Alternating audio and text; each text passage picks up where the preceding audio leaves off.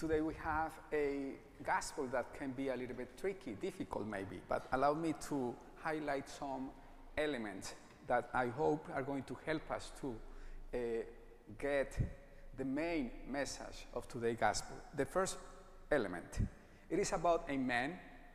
First, it's a parable that Jesus is, tell, is telling us, talking, uh, telling the, uh, the people of his time. It's about a man who is going on a journey. So, before he left, he leaves, he gives talents. It is a talent to three servants. To the first one, five, to the second one, two, and to the third one, one. And scholars say that that journey means the time of the church.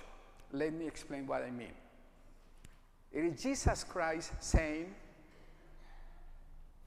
Now that I am going to be um, killed, I'm going to be resurrected, and I'm going to be ascended into heaven, the time of the church begins.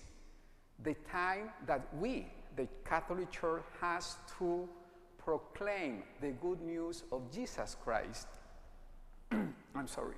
He is not going to be with us physically, so we have to work, we have to do something. And He is entrusted the church, each one of the members of the church, with talents. In the context, and this is the second element, in the context, I, I hope I was clear, huh? otherwise, I'm sorry. In the context of the Bible, of the gospel, talent, talent uh, are money. So he, this man, is entrusted, entrusted, entrusting his servants with money. And I'm going to give you some, uh, I didn't know I'm reading a book, okay? Don't think that I know everything, I, I'm just reading it. A talent was approximately 6,000 denarii. And a denarius, that's in plural, was the standard day's wage for a worker of the time of Jesus Christ. So 6,000 was 6,000 days of work. So it was a lot of money.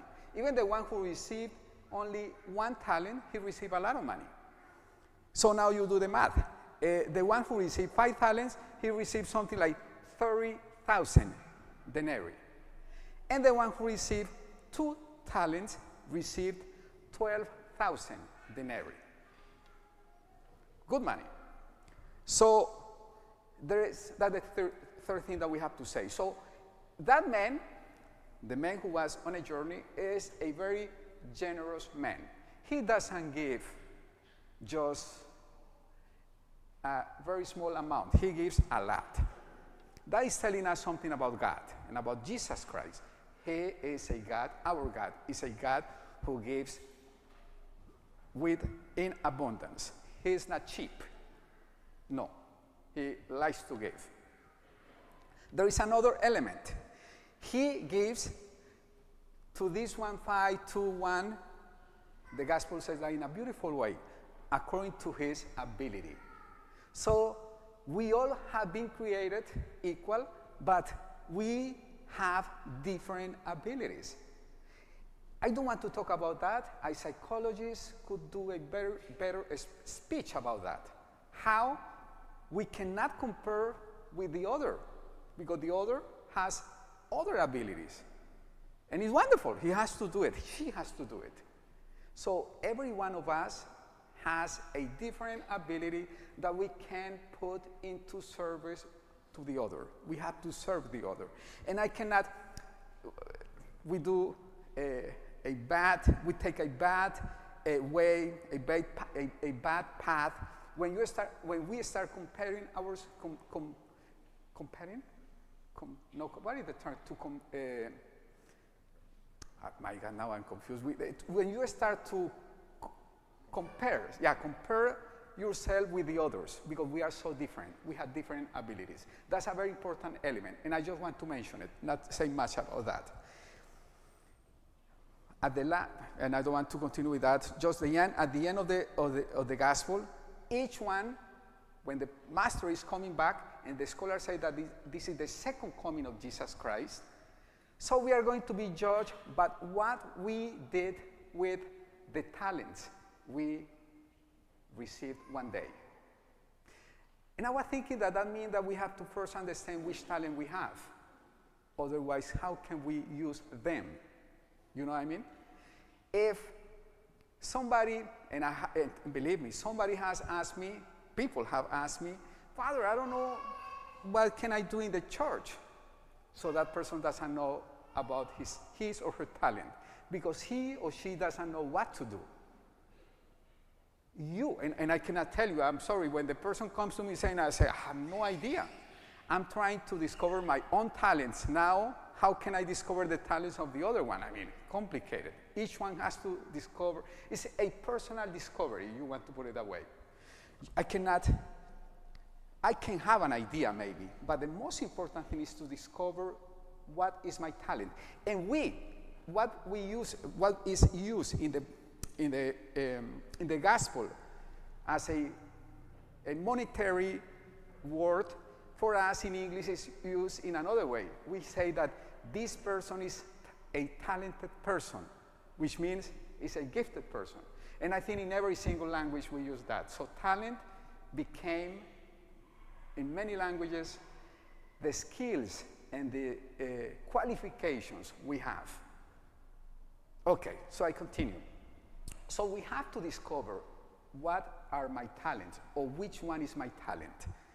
And discovering that talent or those talents, we have to use them because, again, at the second coming of Jesus Christ, He is going to tell us and ask us, What did you do with your talent? How do you put that into service in the church? The first one, he did a wonderful job. He received five, now he made another five. The second one, too. And this is important.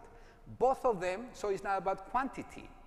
Both of them, and you, you, you can go if you don't believe me, receive the same reward. Even the first one made five, and the second one two, with the same joy, the master's joy. They receive the same joy. It's not that, okay, you are giving me or presenting me five talents, so you have something greater. No.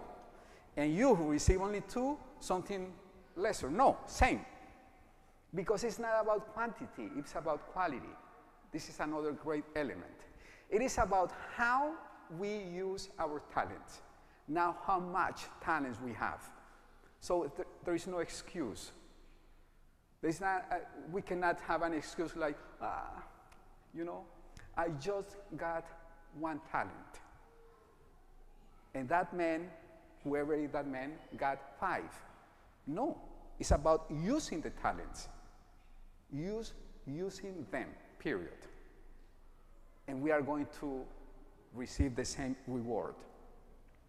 And the last one didn't do anything. And it's a very difficult, not difficult, maybe uh, hmm, strong sentence that the master says to that man You wicked, lazy servant, lazy. He didn't do anything. So it's about omission. He had some talents, but he was unable to use them or to use it. It was only one, whatever, it doesn't matter. So he didn't use the talents. He didn't put into service those talents. He didn't help the church in which he was to grow. It is a beautiful gospel, and it's very, very difficult gospel because it's about how we are using our talents in this church, Blessed Sacrament, the Catholic Church. How are we trying to discover my talents and to put that into service? That's the main message, in my opinion, of today's gospel. And I want to finish. I said to, be, uh, to Deacon Joe that I would be very short, and I think I'm keeping my promise. I want to finish with the first reading. Am I? Huh? Go back to, and read the first reading. And it's interesting why, because remember, the first reading is always in connection or has something to say about the gospel. And the first reading is talking about a lady, a wife. Why? It's like, what is the connection there? But you read the, uh, the first reading, it's about a very virtuous wife. Okay, I was thinking, and this is my last thought. Now I was thinking, no, this is what the church says, and this is what the Bible says.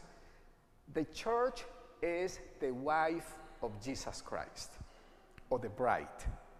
We, the church, is we are the bride. Jesus Christ is the groom. Actually, last Sunday was about that. So we have to be like this lady, the church. Each one of us, we have to be like this lady. And how she is? She works very hard. This is what we can see in today's first reading. She is a very virtuous lady. She doesn't want to be lazy and idle. She wants to work. This is what we have to do as Catholic Church, as disciples of Jesus Christ. Try to use the talents and to put that into service every single day. So let us pray today as we celebrate this Mass that we may first discover our own talents. And let us pray today that we may be people who are willing to give those talents, not to give those talents, to put those talents, talents into service of the Catholic Church, our church, our parish. You are very talented people, gifted people. It's just that some, I'm sorry to say it that way, so by the gospel, some of us are sometimes lazy. So I don't want you to hear that when Jesus Christ comes for the second time, you wicked, lazy servant.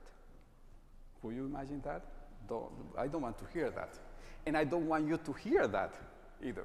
So let us try to put into service the many talents that we have. Could you imagine?